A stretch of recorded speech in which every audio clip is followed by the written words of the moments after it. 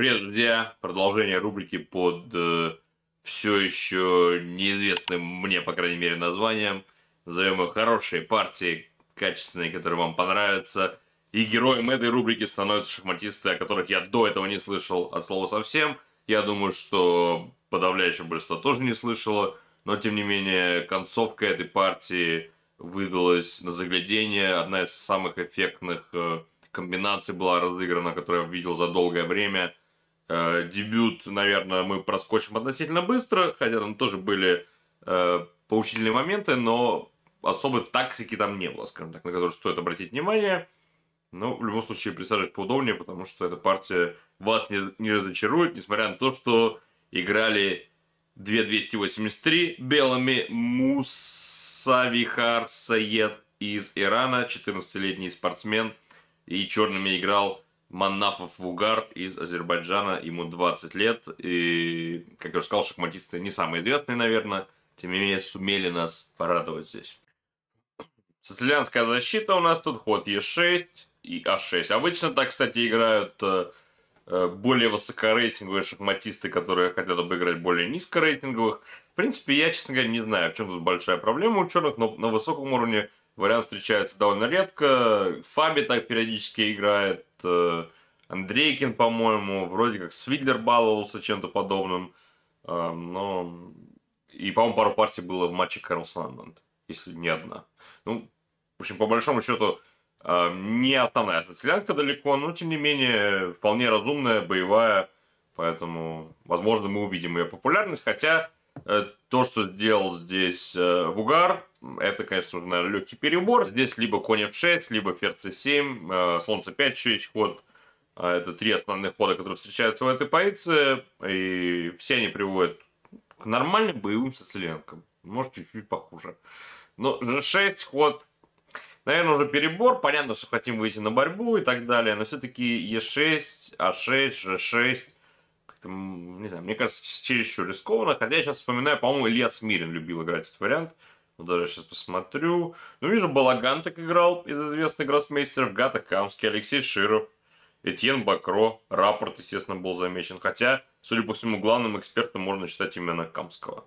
А вот Смирина я почему-то не вижу. Вижу, вижу пар партию белого Смирина Смиренковский. Но, в общем, может, я в плане Ильи что-то перепутал, а вот э, Гата точно тут э, кучу партий наиграл. Но, опять-таки, в большинстве своем с э, низкорейтинговыми шахматистами попытка уйти от теории и получить, может, чуть худшую, ну, такую сложную позицию на борьбу, нормально. Но чем еще примечательна эта партия, это то, что это не итальянка, не Берлин, не русская, а нормальный боевой шахматный вариант, который мы на высоком уровне вообще не видим практически. Рокировка. Слон g7. Конь b3. Ну, конь b3, наверное, не очень удачно. Слон e3 намного логичнее смотрится. Потом c4, конь c3, как так расставить. Но, естественно, учитывая, что 2283 здесь белыми играет, мы, наверное, не будем особо ругаться. Идеальной игры мы не ждем. Конь b3, конь f6. Здесь, кстати, e5 я бы всерьез рассмотрел, потому что как-то тоже выглядит провокативно со стороны черных. Если, в принципе, у белых, как я это вижу, обычно в сценках, если есть возможность пойти e5, то мы ею пользуемся с нападением на коня f6. И тут e5 э, сюда, потом ладья e1. По виду у черных все-таки должно похуже. c4 еще этого коня можно пнуть. Все-таки черные поля слабые. Не знаю, мне это не очень нравится, но в любом случае конь f6, c4 последовало. Ферзь c7. Стандартно. d6. F4. Вот тоже следующий момент, который я хотел обратить внимание. То есть получилось что-то что-то вроде типичного ежа получилось. Обычно, правда, слон в этих позициях стоит на e7. Но на g7 его тоже либо ставят сразу, либо иногда даже переводят путем ладья e8, слон f8, слон g7. В принципе, нельзя что это плохая фигура. Единственное, что, наверное, будет потенциально проблема с пешкой d6 при случае. А, но со стороны белых, в подавляющем числе э, случаев, в еже мы ставим f3. Мы ставим f3, мы ставим ферзь d2, Конь, кстати, наверное, должен вообще на d4 назад пойти, потому что ему здесь особо на b3 делать нечего. Ну, может быть, правда, потом b4 сыграть и потом вернуться обратно на b3, чтобы поддерживать либо c5, либо a4, a5. Но вот ход, который сделал здесь э, Сиет, Сает, мне он не нравится. Потому что, во-первых, мы теперь ферзем особо не можем двинуть потому что где-то конь g4 всегда будет неприятно. Этот слон очень важный, мы не хотим его отдавать. Во-вторых, после того, как э, пешка выйдет на... Слон, точнее, выйдет на b7, то пешка e4 всегда будет э, неуютно себя чувствовать, что где-то конь c5 поддаю. Поэтому пешку ставим на f3 и не паримся. Так как мы e5 все равно не пойдем в ближайшее время, f5 всегда отдаст поле на e5 для коня. Ходить мы f4, ну я просто не вижу большого смысла, кроме как типа активно. Вот, здесь э, сыграл опять, опять Саед, э, что уже, видимо, не точно, то есть он вскрывает игру, хотя у него центр скорее уязвимый. Скорее уязвимый, и, может быть, ему надо было пока поаккуратнее, король h1, ферзь c2, может, ладья d1 где-то. В общем, чуть поаккуратнее. Поаккуратнее расставить фигуры, все надежно прикрыть, дальше уже по обстоятельствам. Опять план, в целом план стандартный, но здесь после БА э, еще конем обычно бьют все-таки, чтобы слона на b7 не пустить.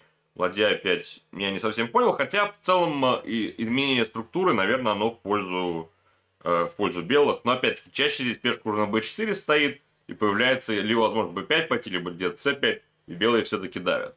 Тут, э, наверное, этот план можно признать таким преждевременным, что ли, и не совсем удачным. Последовал ладья b8, грозит ладья бьет b3, уже провисает ладья на 5, ладья ушла на 3, ладья d8 логично. Чаще немножко ставят ладью на e8 в этих позициях. Наверное, где-то сидишь, что мы можем пойти d5, и потом при случае слон e3 будет провисать. Ну, здесь ладья d8 не, хуже сильно не выглядит. Так что тоже окей вполне, ферзь e2 логично. Как я уже сказал, очень важно g4 поле контролировать. Возможно, имело смысл пойти в какой-то король, в какой-то момент король h1, э, особенно после того, как мы двинули пешку f. Никогда не ошибка. Ферзь e2, тем не менее, слон f8. Уже намекаем на ход d5, где-то провисает ладья на a3. Это э, сигнал белым, что что-то скоро будет. Но пока игнорируем, ладья c1 ход правильный, теперь на d5 просто заберем. И уже не висит здесь э, конь на c3. И можно еще сыграть конь b5. Э, напасть на ферзя. И у ферзя не так уж много ходов. А в случае ферзь b7 еще ладья c7. То есть мы ферзя не только напали, но еще и, кстати, съели после такого забавного варианта ладья c7. Ферзь э, в углу просто попался. Поэтому d5 пока не проходит. Слон b7 спокойно играет угар. Хороший ход. h3 тоже полезно. Где-то и форточка, и конь g4, чтобы нигде не было. Слона 8. Тоже стандарт. Слона мы пропустили с c8 на а8. Ладья снова играет по линии b, а слон уже давит на пешку e4. Некомфортная позиция у белых. Может у них так не сильно и хуже, но слишком, слишком все хорошо у черных стоит. И фигуры в какой-то момент позиция может взорваться. А, и d5, и e5, где-то может быть e5, правда, совсем гипотетически, но при случае.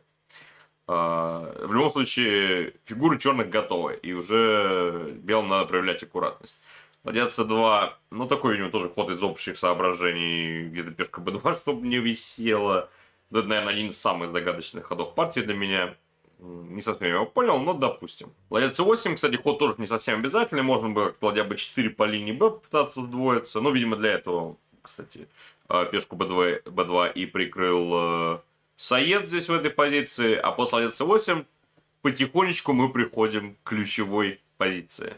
C5 последовало. Наверное, правильно, не решает проблем, но, по крайней мере, иначе бы белые как-то все хуже и хуже и хуже позиция становилась, поэтому, если вы чувствуете, что что-то идет не так, надо пускаться во все тяжкие, там будет что будет.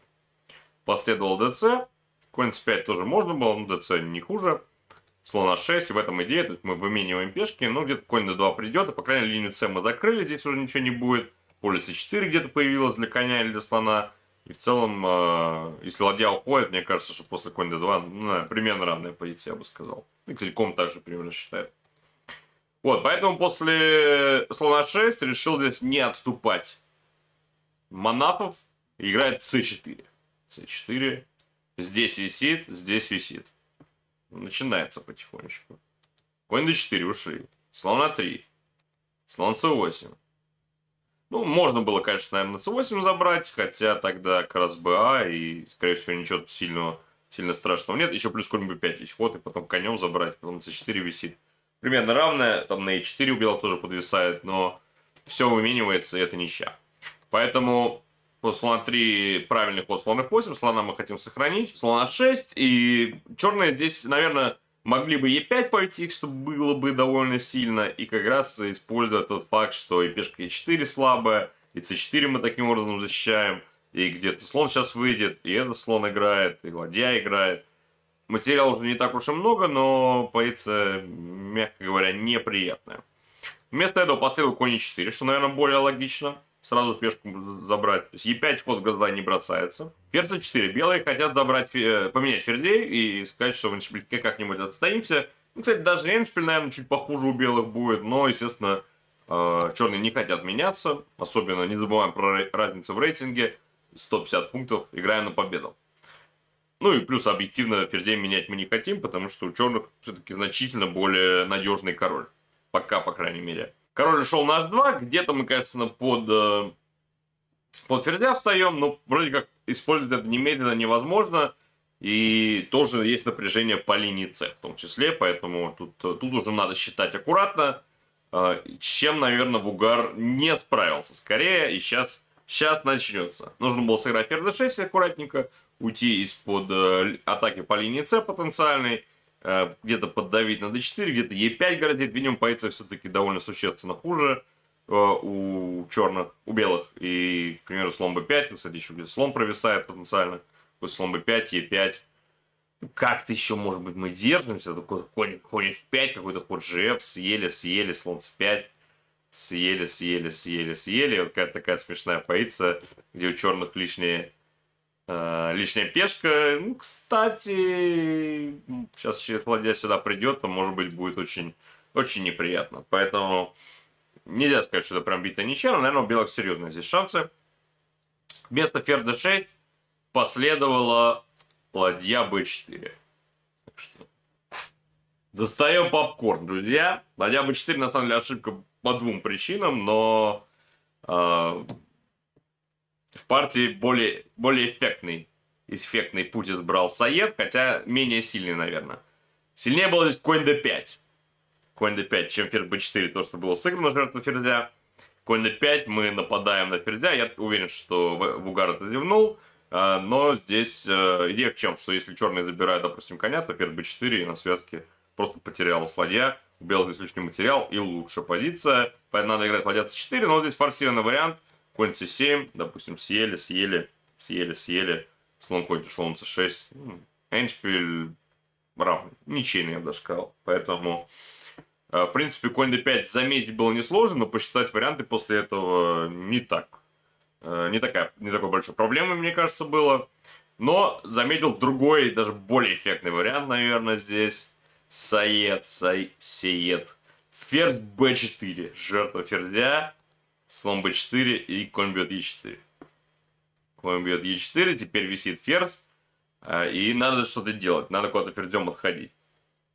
Вариантов не так много, на самом деле, на b8, на d8 у меня отойти там под ладья c8 мы все время попадаем, а, на b6 как-то под слона, наверное, не хочется, и тоже, кстати, ладья c8, ладья 8, там просто слон теряется, поэтому вариантов у нас либо перекрыться, либо слоном, либо конем, либо пойти ферзь 5 либо пойти ферзь 7 больше вариантов я не вижу. Сильнейший был, наверное, ход ферзь А5, на что примерно форсированный вариант э, ладья С8, король G7, съедаем на А8, ферзь D5, важнейший ход, вот его, может, издалека не видел Лугар, что это двойной удар, и здесь надо продолжать белым бьет Е6, Фе, ладья А7, вот так вот подвязываем мы коня, и черный, допустим, забирает на Е4, ладья D4, ладья B4, поеду битая ничья. Ком какой-то микроперевесик черным дает, но я думаю, что это э, легкая ничья. Слона переведем на f3, поставил ладью на e4, и партия закончится, по большому счету, ничейным результатом. Поэтому ферзь опять, наверное, было самое четкое, но играет здесь на победу. На победу ферзь 7 сыграл в угар. Если слоном перекрыться, допустим, то съели, съели b4. Ну, тут, кстати, тоже бита ничья, но даже черные тут и не могут поставить никаких проблем. Ну и конь c5 то же самое, съели, съели, b4, отыгрывается фигура. Можно пойти ферзь b6, допустим, но тут явно белые не рискуют. Черные, кстати, может что-то еще рискуют. Белые, мне кажется, уже совсем ничем. Но вернемся, вернемся к ключевому моменту. Ферзь, я напоминаю, висит, и не так много ходов, и ферзь совсем следует. Ну, где-то под слона встали, но казалось бы, ладно, слона защитили, конь висит, слон висит, ферзь лишний. Найдите тактику, называется. Конь в 6 шах. Конь в 6 шах. Подбой, но очень важный ход. Потому что теперь после, это, кстати, строго единственное за белых, после коня в 6 следует ладья 8 шах и на слон f8. Ну, либо, если э, король g7, то конь e6 шах и забрали ферзя. Это сразу выиграно. А если слон f8, то ладья f8 еще жертва. Конь e6 еще жертва. И забрали здесь. И благодаря пешке b этот эндшпиль должен быть легко выигранный. Поэтому э, после коня в 6 конь d6 забирать нельзя. В случае король g7 снова попадаем под шах. Поэтому ферзь c7, кстати, так чисто интуитивно я бы, наверное, не стал ходить. Но, правда, видимо, в угар не видел идеи конь f6. А если ты не видишь конь f6, то ты думаешь, ну ладно, вроде как опасно, с другой стороны, ничего особо и нет. Поэтому играем. Король h8. Все еще нормально, ничего страшного на самом деле не произошло. Шах. Теперь король g7 то же самое, здесь конь e6, поэтому надо закрываться. Э, в случае слон f8, конь d7 просто забрали потом здесь, потом забрали здесь. Миллион лишних фигур у белых выиграно, поэтому конь f8 строго единственное. Здесь атака продолжается. Конь f5. Конь f5. Напали на ферзя. Ну, у черных строго единственный ход ферзь a6. Конь у нас под боем, но мы на это не обращаем внимания строго. Слон d4. Так, уже, уже становится опасно. Ну, в частности, если какой-нибудь рандомный ход, я не знаю. А, ну, рандомный ход типа ферзь c8. Ферзь c8, то конь g4, шах. Ну, и можно e5, f6 пойти, отдать эти две пешки, мы их заберем. Но в любом случае конструкция у нас именно... Тут можно выбрать либо этим конем, либо этим конем. Можно еще отдать коня здесь. И потом поставить мат вот так вот, конь h6. Так что... Здесь черные проигрывают, ферзь c8 хода нет. По сути, у черных есть несколько продолжений, которые держат позицию еще. И Вугар разбирал одно из них. Можно было сыграть GF, это было сильнейшим. После конь G4 опять уйти, уходить нельзя, конь А6 мат. Поэтому Е5. И тут даже не слон Е5, а ладья 8. Шах, хотел сказать. Шах ферзю. На ферзь А8 снова та же самая идея с матом конем на А6.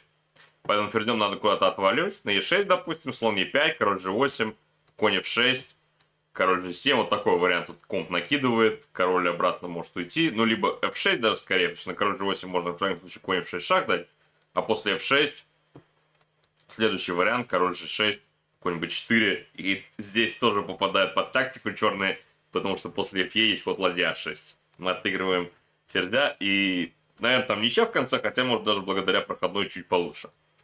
Вот. А в случае ферзь c4 тут вариант продолжается, ладья a6, теперь хотим забрать на f6. Ферзь b4, более того, просто черные чуть ли не проигрывают здесь. Ладья f6, король h5, ладья f5, ну куча, конечно, классных вариантов. Ладья f7 и строго единственный ход, почему-то не спрашивайте, ферзь c5, все остальное чуть ли не проигрывает на месте. Ну, черный слон d7, белые хотят пойти выиграть коня. Если конем куда-то свалить на e6, допустим, то ладья f6. А если на g6, то слон g7, g4 и вот такой вот мат на f6. Немножко запутано уже, я думаю, для вас, так что сильно углубляться здесь не буду, потому что вариантов еще много будет интересных. И мы, конечно, у... улетели вперед, но GF ход был здесь э, возможный. Также, судя по всему, можно было пойти здесь h6. Это не проигрывало, но тоже вело довольно опасный пойти. Причем белые всегда могут сделать ничего, если захотят тут. А если они хотят играть на победу, допустим, конь g4, король h7, Ладья c7 тут сразу выигрывает. Ладья подключается в атаке. И снова вся та же идея конь 6 шаг. Поэтому надо ходить e5 сначала. Слон e5. Король h7 здесь. Идея в том, что после ладья c7 мы можем пойти слон d5, защитить пешку на f7. И тут, допустим, конь f3. Просто игра продолжается. Вот такое. Грозит конь f6 шаг. Потом на отскок, э, на, точнее, отход короля под, этот, под шах мы где-то пойдем конь d5, заберем на b4. Нули, как обычно это можно анализировать еще долго и долго и долго. Но в любом случае, h6 ход не был сделан, наверное, по причине того, что, ну, во-первых, может, не видел просто, а во-вторых, э, э, там у белых ничья есть как угодно. Поэтому последовал e5, может быть, зевнул то, что дальше случилось в угар, я не знаю. Сейчас, сейчас мы увидим. Слон e5.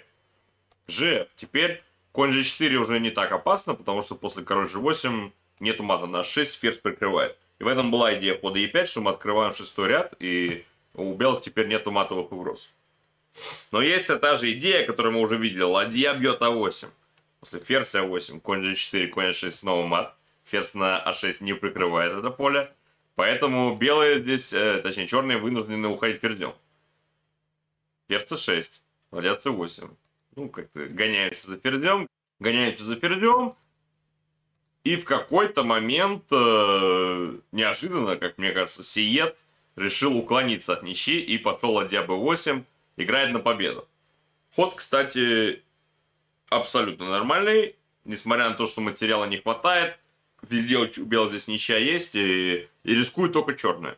И более того, тут же ошибся, тут же ошибся господин Бугар, потому что он сыграл здесь слон Е7, этот ход проигрывает, по большому счету, а слон D6 нужно было делать ход, и тут э, после ладья E8 нужно забирать слона. Вот надо было... Идея-то в чем, что слон белых, слон чернопольный, он самый... Это самая неприятная, а, угрожающая фигура в позиции, поэтому нужно было срочно его менять.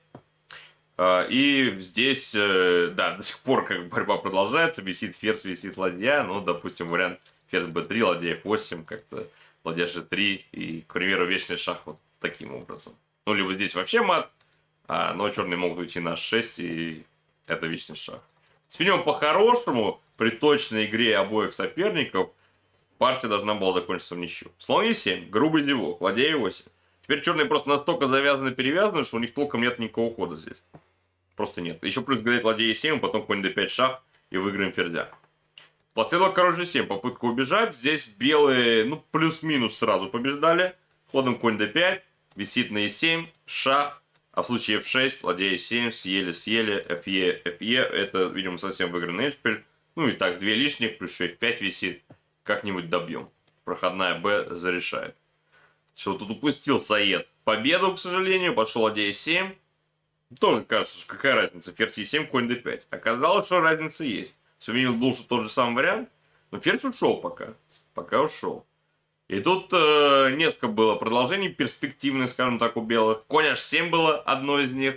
После король h7, ладья f7, король g8, ладья g7, ладья c7, шахом забираем ферзя. А если здесь уйти королем на g6, допустим, просто забираем на f8. И, видимо, технически выиграна позиция. Слон все такой же мощный, все друг друга защищают. Дальше следующий ход ладья f6, заберем пешку на f5, ну и потихонечку эти приведем движения. Сейчас, кстати, была партия в Загребе на супер турнире. Аранян выиграл, не помню у кого, честно говоря, но очень похоже. В общем, по-моему, Гукиша выиграл Аранян. Так что, не знаю, имеет ли это большое значение или нет, но тем не менее, позиция, конечно, легко выигранная здесь и побеждал. Побеждал Саед, но сыграл вместо этого ладья e8, решил, что можно поддержать огонь атаки. Наверное, в этот момент соперники были в цветноте. К сожалению, таймингов у меня нету. Но последовал конь g6. Боремся с слоном e5. Шах. И тут, конечно, потерял нить. Вот, видимо, время, время начало заканчиваться. Можно было еще сыграть g4 с страшной атакой на самом деле. Ну, по крайней мере, визуально. Играть просто мат в один ход. А, и если слона забрать, ничего не меняет. Все равно мат. Но здесь FG, FG, допустим, ферзь 2 или сразу ферзь 2 И все-таки вечный шах с ферзем уж как-нибудь против голову короля мы поставим. Тоже это заслужило внимания, но последовал ладья b8, конь e5, fe. Ну, этот эндшпиль, наверное, можно сказать визуально, что он ничейный, причем легко должен быть. Но приключения на этом не закончились. Дальше я проключу, прокручу. Играть уже начал в угар, очевидно, на победу. Выдохнул, пошел королем вперед. Пошел королем вперед. Пока до поры до времени играл здесь играл очень четко Саед в плане того, чтобы сделать ничью. Но вот здесь э, строго единственный спасающий ход был, этюдный ну, по-настоящему, H4. Идея в том, что после ферзь H4, конь H3 мы все прикрыли. И главное, что король черных не проходит. При случае, если мы ладью где-то успеем привести на f3, это будет битая ничья абсолютно. Ну, либо король h2, кстати, ладья g3 тоже есть идея. А если, допустим, f4 пойти, то ладья g7 и в 3, если тогда ладья f7. Успеем, успеваем мы ход в ход задержать пешку, fg, король g2. Ладья не теряется, и это ничья. А идея в чем хода h4? Идея в том, что король черных хочет пройти и поставить мат, и висит конь, поэтому ладья не может оторваться, как-то препятствовать этому маневру. К примеру, если b4, то король e2, следующий ход король f1, на g2 уже э, будет висеть, единственный ход будет ладья 8, чтобы мат не получить. Ну, тогда просто ферзь g5, это уже совсем выиграно будет. Поэтому h4 было необходимо, чтобы защитить коня, и, к примеру, если здесь король e2 сыграет, тогда уже мы ладья 8 и ладья c8, а ферзь h4 снова конь h3, а если король f1, мы успеваем ладья 1 защититься, э, дать шах точнее, и защитить пункт g2, важнейший. Последовало вместо этого ладья g7, и тут как раз черные уже прорвались. Отдает коня, потому что король f1 проигрывает, ну это эншпиль. Тут, кстати, опять-таки, если ладья придет на f3, я так понимаю, это ничья все еще, но ладья на f3 не приходит. Хорошую технику здесь проявил Вугар. Ферзь d5. Можно сказать, что двойной удар, хотя нападение на ладью, конечно, никого не волнует. Волнует мат на g2. Такая вот многострадальная партия и одна из самых напряженных. Причем такой довольно короткий момент был, но тем не менее очень эффектный. Много красоты осталось за кадром. Ну хотя и во время партии подарили нам шикарное напряжение соперники. В общем, возможно мы еще о них услышим. Хотя Вугар уже не такой молодой, а вот Саед 14 лет, 2300. Ну, не то чтобы супер перспективный, но вполне возможно, что гроссмейстером станет. Тактику видит хорошо. К сожалению, проиграл эту партию, но подарил нам немало приятных эмоций. Спасибо, ставьте лайк, если вам понравилась эта партия. Если нам не понравилось, можете не ставить, конечно, но кому она не понравилась, я не знаю. Увидимся. Спасибо.